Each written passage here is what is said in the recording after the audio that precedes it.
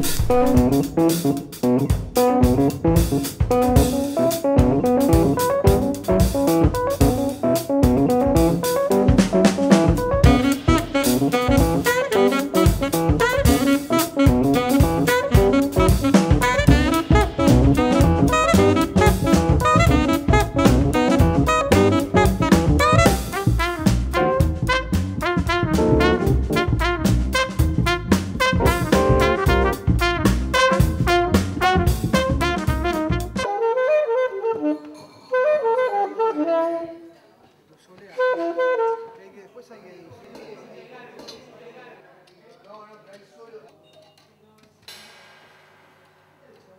Dos, dos, dos, dos, dos, como un par de veces.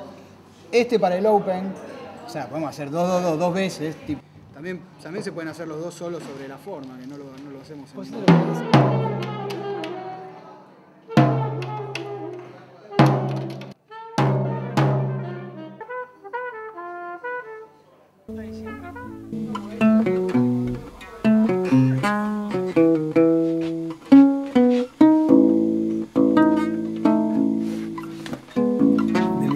la música hay que buscarlas en mi casa. eh, y, bueno, es una, eh, era y es una casa muy musical. Yo todos los recuerdos de mi infancia con, con mis viejos, eh, la casa que más me acuerdo es una casa de la calle Arenales de Avellaneda, como en el barrio de Crucecita, cerca de, de gl- glorioso estadio de Independiente. Esa casa tenía una casa muy rara. Estaba en un primer piso, pero era la casa en un primer piso, no era un PH. O sea, vos abrías la puerta y era una escalera.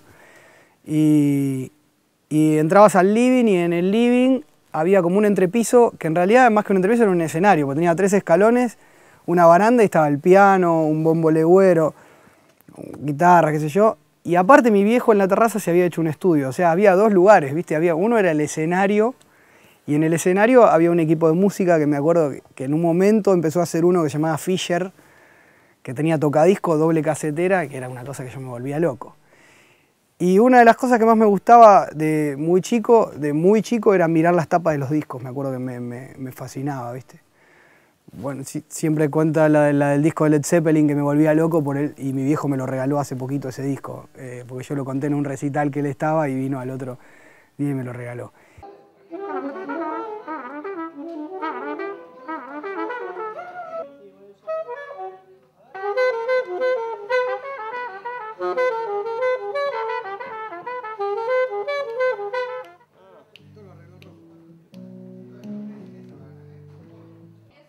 Te puedo contar que mi viejo estudiaba en el conservatorio, entonces yo empecé a descubrir con el tiempo que yo conocía muchas melodías que no sabía de dónde las había sacado.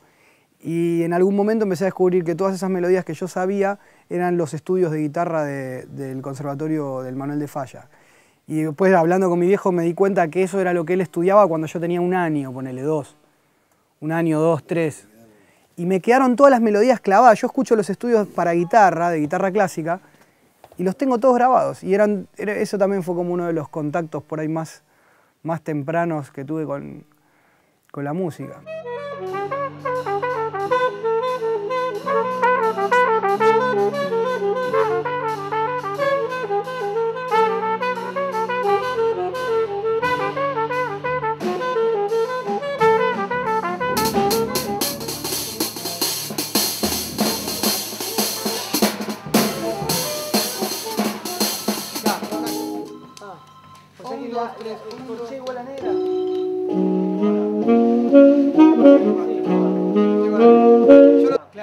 Lo que antes era. Entonces yo acá lo que quiero es que toques en cuatro. Acá lo vas a escuchar que lo toca Rodríguez. Pipu, tipu, pum, pam, pum, pam, ticu, ticu, pum, pam, pum, pam, ticu, ticu, Yo sigo pum, derecho. pam, En cuatro. Ahora. Bueno, empecé por ahí a prestarle más atención a cosas que hacía mi viejo, empecé a escuchar cada vez eh, cosas de rock por ahí un poco más podridas o más jodidas y después me empecé a escuchar un poco más de funk. Decidí que cuando terminaba la escuela iba a estudiar en la, Escuela de Música Popular y ahí empecé como a, transitar otro mundo, ¿viste? Empecé como a descubrir un nuevo mundo. Empecé a ver que el mundo del rock tenía como una connotación que era eh, todo lo que estamos haciendo lo estamos haciendo para ver si algún día la pegamos con el grupo y ese era como prácticamente el único norte de todas las bandas que yo veía, no solo en nosotros, digo, ese era el norte al que se apuntaba, pegarla. Había que pintar con aerosol para que el grupo sea conocido, había que llenar un boliche, vender entradas para acceder a uno de más gente. Y la música en algún punto empezaba como a desdibujarse y a, y a estar en un lugar en el que yo no sé si estaba muy seguro que era el lugar donde yo pretendía poner a la música, con el significado que tenía para mí.